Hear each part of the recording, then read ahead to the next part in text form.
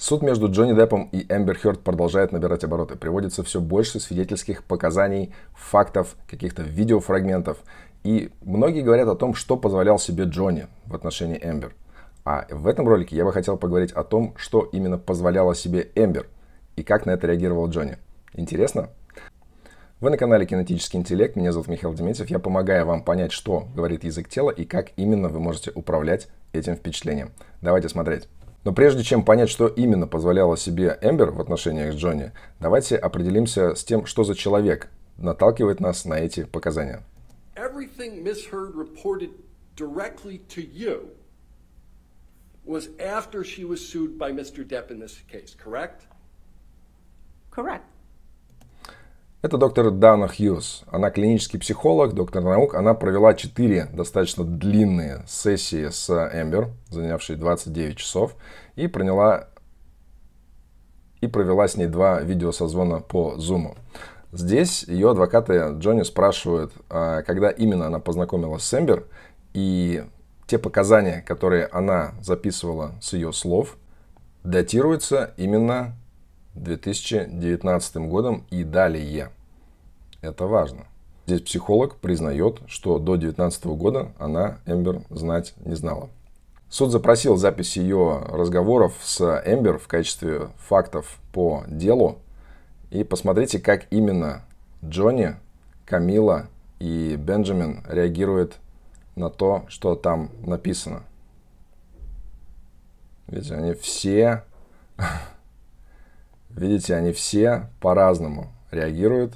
Кто-то зажимается, кто-то морщит нос, кто-то начинает адаптироваться. Вот здесь интересно, одновременно стали Бенджамин и Камила адаптироваться. Бенджамин выбрал галстук пожимать. Помните, даже Саакашвили пожевывал галстук. Это была очень глубокая адаптация.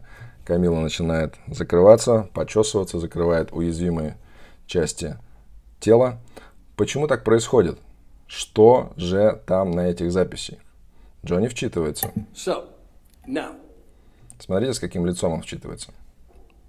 This is, who filled it out? I filled it out. Whose form is it? My form. All right. I'm... Адвокат спрашивает, кто это заполнил? Он говорит, я заполнил, чья форма, моя форма, неважно. Нам важен Джонни, смотрите. just the first page into evidence because we're going to talk about other portions of it later. Заметили? Давайте замедлю для вас. Он вчитывается, отклоняется назад. Улыбка. Но это не радостная улыбка. Он произносит то, что я по губам прочел, так, о май. О май. Типа, боже мой. Почесывает нос. Здесь съеживается. Неприятно. Съеживается и корпусом, и правым плечом, носом потягивает. Такой, а, неприятный запах. Видите, что носом делает? Ах, что за мерзость, что за грязное белье тут достали. И дальше интересный момент, он такой выбор действия. То есть он застывает, как каменная глыба, но палец его левой руки так вот подергивается. Что же они такое увидели? Они увидели записи под грифом Intimate Relationships, интимные отношения – здесь э, психолог расписала всех, с кем были интимные отношения у Эмбер. В левой колонке вы можете видеть людей, с которыми Эмбер сказала, что у нее явно были интимные отношения, там, начиная с 16 лет. Нас это сейчас так не сильно волнует. Но в правой колонке, все еще под грифом Intimate Relationships, э, указано еще несколько интересных имен, а именно два. Это Джеймс Франко, видите, JF. Указано, что они друзья, friends, get close, сблизились, but really wanted to be with Johnny. Но на самом деле хотела быть Джонни. Да, и это все еще, напомню, под грифом Intimate Relationships. Well, it says JF friends, they were friends. All right. So... Да, они были друзья, друзья, но здесь использованы термины, которые использовала исключительно Эмбер – доктор не проверяла. Это все, как она также призналась в показаниях, я просто экономлю ваше время. И адвокат указывает, что как же так? это же не список друзей, это intimate relationships, интимные отношения. И сблизились они в декабре 2015 She года. wasn't telling me that this was an intimate relationship. I queried as to what's going on with James Frank And there's a note for December 2015. When they became more friends, more friendly. Они стали в декабре 2015 года еще более близки. Чувствуете? Почему это важно? Давайте немножко хронологию вам покажу. 3 февраля 2015 года Эмбер и Джонни играют свадьбу. 21 мая 2016 года, всего лишь в следующем году, возникает конфликт с избиением Эмбер, где она была вся в синяках, вроде как а, жаловалась, что муженек ее поколачивает. 22 мая 2016 года, на следующий день после этого события, которое, может быть, и имело место, а может быть и нет, а, происходит важное событие, к которому мы вернемся чуть позже в этом ролике. После этого события, 23 мая, на следующий же день, Эмбер подает на развод. Что же там такое произошло? Также в списке Эмбер участвует и Илон Маск. Think it says Elon. Correct. It's Elon Musk, right? Correct. Психолог признает, что в списке под грифом Intimate Relationships у нас засвечен Илон Маск. Right. May 2016. Также пресловутый май 2016. Ничего странного. Correct. Здесь не столь важно, о чем они говорят. Итак, переходим к главному видеосвидетельству этого ролика, после которого я не представляю, как Эмбер будет смотреть в глаза Джонни и вообще всем вокруг. Смотрите, адвокат ее спрашивает. Heard ever tell you that James Franco spent the night with her at the ECB between May 21 and May 27? Он Говорит, а Эмбер вам вообще не, не рассказывала о том, что провела ночь с Джеймсом Франко в ECB? ECB это Eastern Columbia Building. Это там, где находится пентхаус, один из пентхаусов Читы, Деп и Хёрд между 21 и 27 мая. I Эмбер при этом такой, ой-ой-ой, меня здесь нет, что такое, про меня, они говорят не про меня. I Но когда фокус внимания переключается больше на психолога, она такое больше горделивое такое лицо делает. Ну давай, скажи. I скажи. recall. I mean, again, it would be helpful to have my notes so I can tell you. Здесь психолог начинает путать слова, говорит, что нет, нет, ничего такого она не говорила. At some point, I do not know if he spent the night. Здесь, смотрите, на уголке рта.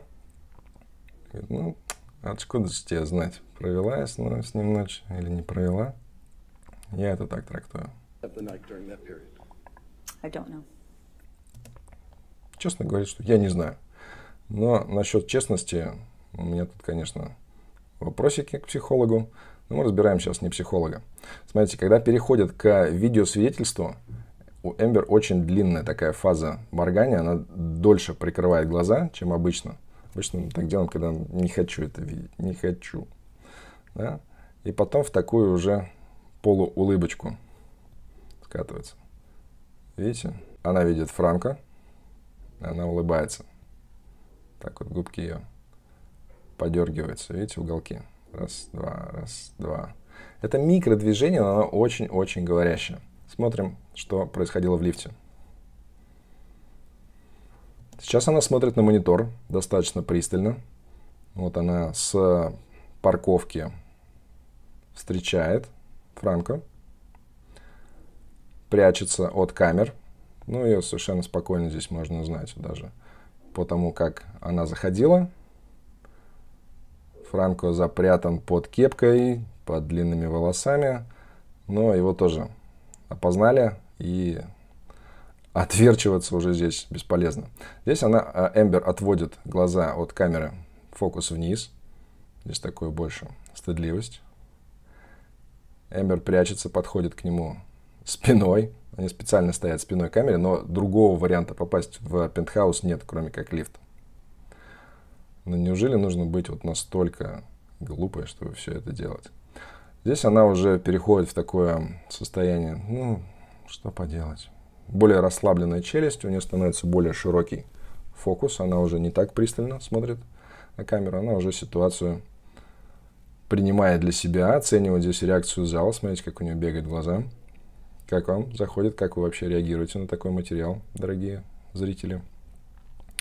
И такое вылезает, хм, к сожалению, блин, спалили, Параллельные. Смотрите внимательно. Что здесь за эмоция? Напишите в комментариях. Дальше она снова оценивает реакцию зала. Как вы реагируете? И из этого хм, так переходит. Да, всех сканирует. И на долю секунды здесь взгляд на Франка. Коротенький, коротенький. И все, и отпускает эту ситуацию. Рухнула надежда, не прокатила. И смотрите, взгляд на Джонни. Она пытается бросить взгляд на Джонни. Он сидит четко напротив нее. Но не смогла его удержать. Она не может ему смотреть в глаза, видите, после этого. Здесь такое микро-микро подергивание нижней губой, еле заметно. Видите, вот отсюда, сюда она немножко поджала губу. К сожалению. Дверь открывается на этаж, какой бы вы думали, пентхауса Джонни и Эмбер. Это все видно на камере. Это происходило 22 мая 2016 года. На следующий день Эмбер подаст на развод. Ну что, остались здесь у меня еще защитница Эмбер? Напишите в комментариях, насколько допустимо то, что Эмбер позволяла себе, напомню, в браке с Джонни Деппом. И напомню, что если вам интересно научиться разбираться в ваших невербальных проявлениях и управлять впечатлением, которое вы оказываете на окружающих, я жду вас на бесплатный мастер-класс по ссылке в описании к этому видео. С вами был Михаил Дементьев, проект «Кинетический интеллект». До новых видео.